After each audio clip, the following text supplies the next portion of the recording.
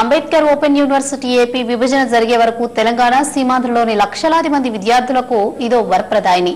ఉద్యోగులు ఉద్యోగాలు చేసుకుంటూ మరి ఉన్నత విద్యలు పూర్తి చేసేందుకు అవకాశం కలిగింది చాలా మందికి. విభజన అనంతరం వచ్చి పడిన చిక్కులతో ఇప్పుడు ఏపీలోని ఉద్యోగులు అంబేద్కర్ ఓపెన్ యూనివర్సిటీ ద్వారా ఉన్నత విద్యను చదివే అవకాశాలు లేకుండా పోతున్నాయి.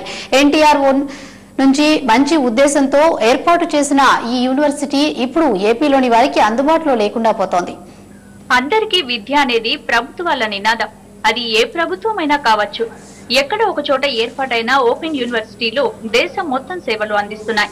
దూర విద్యా విధానంలో డిగ్రీ నుంచి ఉన్నత విద్య వరకు ప్రతి ఒక్కరికి అందుబాటులోకి తీసుకువస్తున్నాయి. అంబేద్కర్ విశ్వవిద్యాలయం కూడా ఇప్పటి వరకు ఈ విధంగానే వ్యవహరించింది.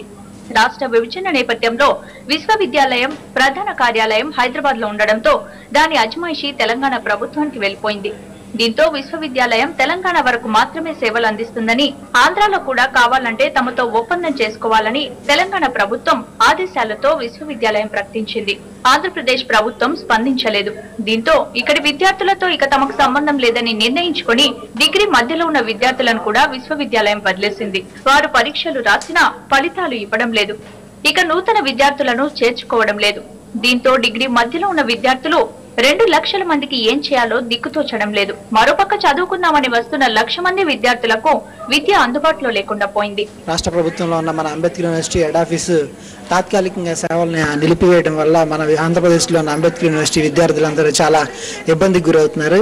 వారు లాస్ట్ టైం రాసిన మనకి ఫస్ట్ ఇయర్ రిజల్ట్స్ కానీ సెకండ్ ఎంట్రన్స్ ఎగ్జామ్ రిజల్ట్స్ కానీ ఇటువంటి ఏమీ అందించకుండా అడ్మిషన్స్ నిలిపివేసి ఇటువంటి చాలా పరిస్థితి దారుణమైన పరిస్థితికి అంబేద్కర్ యూనివర్సిటీ ఇదవుతుంది రన్ చేసి తెలంగాణలో చూసుకుంటే ఆటోమేటిక్గా ఫస్ట్ ఇయర్ రాసిన వాళ్ళకి రిజల్ట్స్ ప్లస్ అడ్మిషన్ రిజల్ట్స్ కూడా వాళ్ళు అందించేసి వాళ్ళు క్లాసులు కూడా నడుస్తున్నాయి. ఇక్కడ చూస్తేనేమో ఎటువంటి uh, దిశలో కూడా యూనివర్సిటీ ముందుకెళ్ళట్లేదు అయితే అంబేద్కర్ విశ్వవిద్యాలయానికి ఆంధ్రప్రదేశ్లో తొంభైకి పైగా కేంద్రాలున్నాయి. ఇక్కడ నూట యాభై మందికి పైగా సిబ్బంది అధ్యాపకులున్నారు. వారికి వేతనాలు ఇచ్చేందుకు మాత్రం విశ్వవిద్యాలయం అధికారులకు ఎటువంటి అభ్యంతరం వ్యక్తం చేయడం లేదు. ఇక్కడ విద్యార్థులకు పాఠాలు చెప్పేందుకు మాత్రమే అభ్యంతరం ఉంటే తొలి దశలో విద్యార్థులను వదిలించుకొని మలి దశలో ఉద్యోగులపై కూడా వేటుపడడం ఖాయం. ఆంధ్ర విద్యార్థులకు జరుగుతున్న అన్యాయంపై ఇప్పటికైనా ఆంధ్ర పాలకులు కళ్ళు తెరవాలి.